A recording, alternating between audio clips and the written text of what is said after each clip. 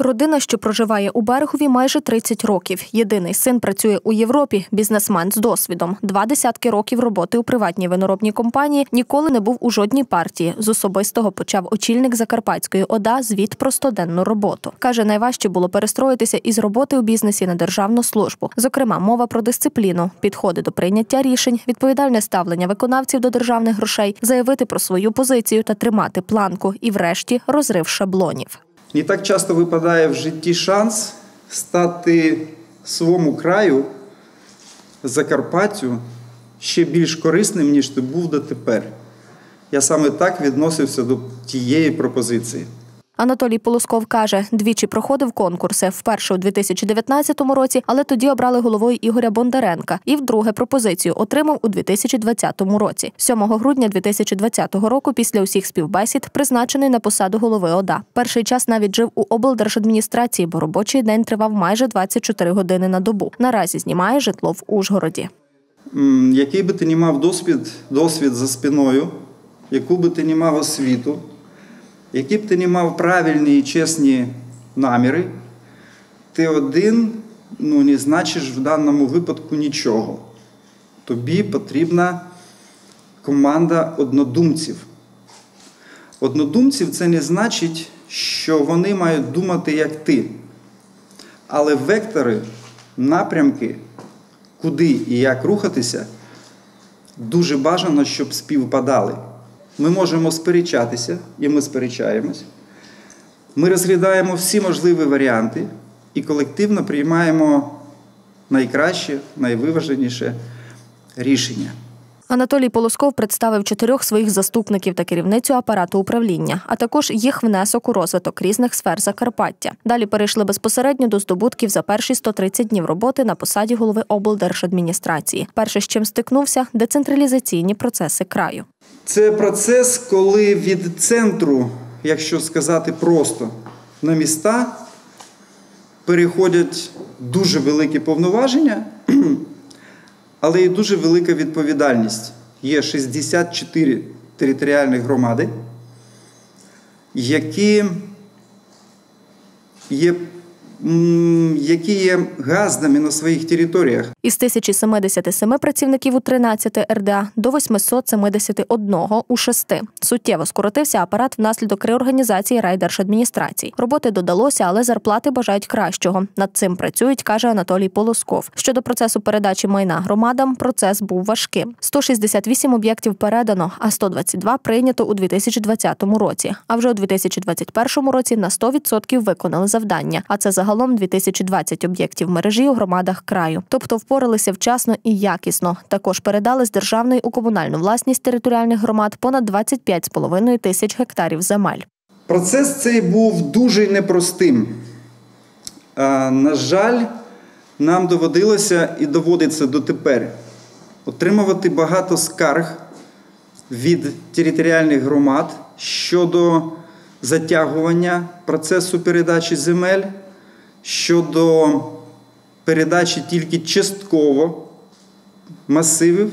Є кримінальне провадження щодо деяких випадків в цих процесах. Але, на щастя, цих проваджень дуже мало. Головне те, що за кожним кримінальним провадженням стоїть несправедливість відносно людей, відносно громад.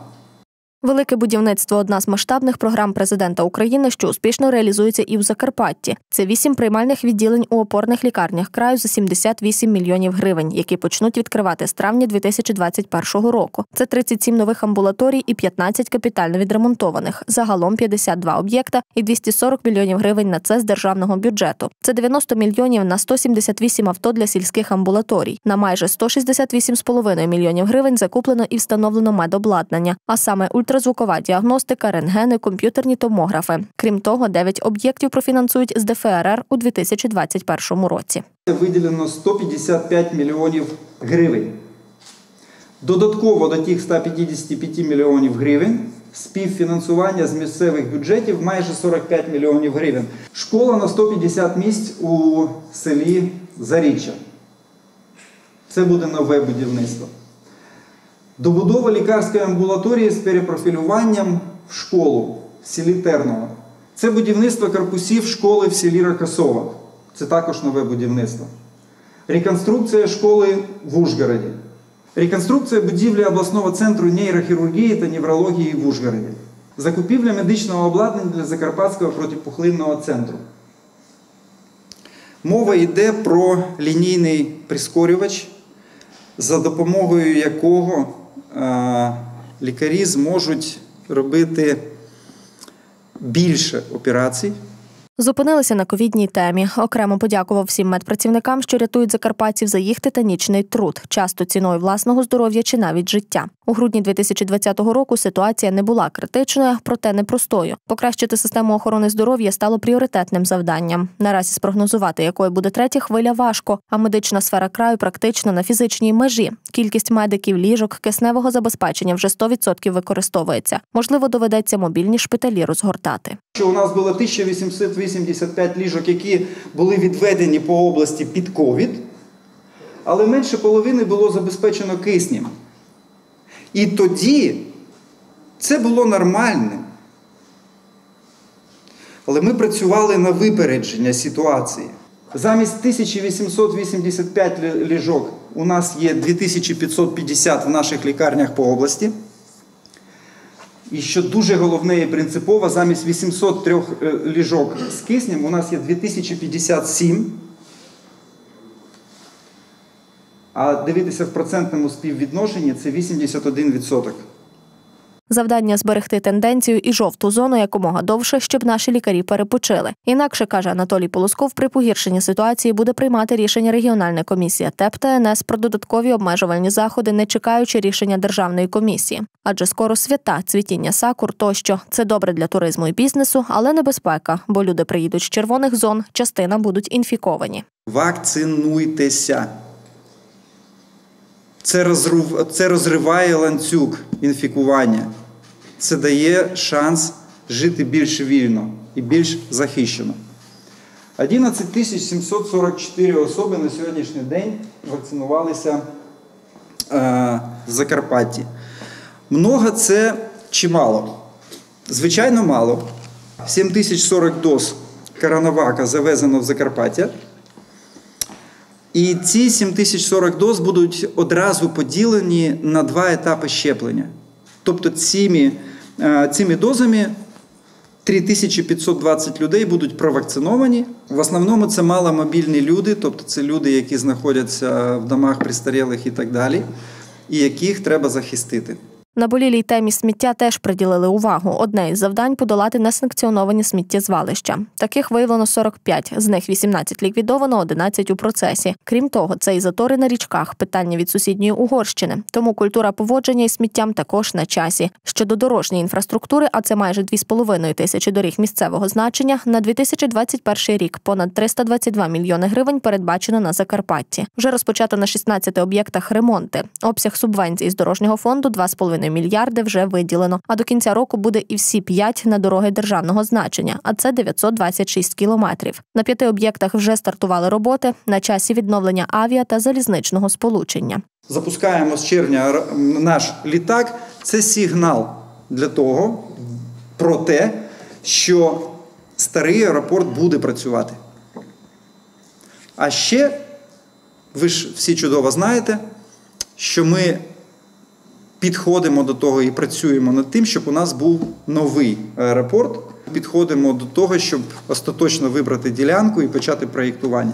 Загальний обсяг фінансування на те, щоб запустити наш е, старий аеропорт в Ужгороді, біля 120 мільйонів гривень. Завдяки принциповій позиції президента, що аеропорт в Ужгороді має працювати.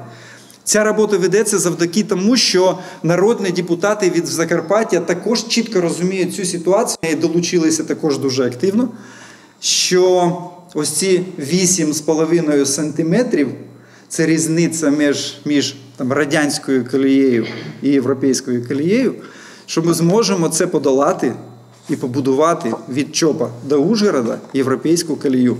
Це дуже крутий інфраструктурний проєкт. 5 мільйонів гривень виділено. Цифровізація освіти до 2022 року. У Закарпатті скоро запровадять пілотний проект. Це безкоштовна тестова платформа із навчанням освітян і забезпеченням електронних інструментів для дистанційного навчання. Говорили і про наповнення бюджету. Один із напрямів протидія незаконному обігу та торгівлі під акцизними товарами. Анатолій Полусков запевнив: ми не будемо миритися із незаконним бізнесом. Працюємо над легалізацією через переконання, якщо ні, до правоохоронців. Ми розуміємо з податків. Більші податки, високі податки це акцизи. Ліве пальне, лівий алкоголь, ліві піл- пілорами і так далі. і так далі. Тобто все, що працює незаконно, воно працює проти громади. Минулого року за перший квартал по всій області було зібрано 187 мільйонів. І тоді ще не було таких обмежень, як були в цьому році. Планові показники на перший квартал 2001 року були більшими, ніж сума фактично зібрана в бюджет. І незважаючи на це, ми спромоглися зібрати в першому кварталі в обласний бюджет, бюджет 207 мільйонів гривень. Навіть від планових показників це на 8% більше. Охорона здоров'я, освіта, регіональний розвиток, туризм, велике будівництво, прикордонна інфраструктура, молодіжний центр. Такі перспективи для Закарпаття окреслив голова ОДА. На завершення Анатолій Полусков акцентував на важливості комунікації з громадами та закарпатцями. Заради спілкування з краянами має відкритий профіль у соцмережах, де повідомляють про різні факти порушень.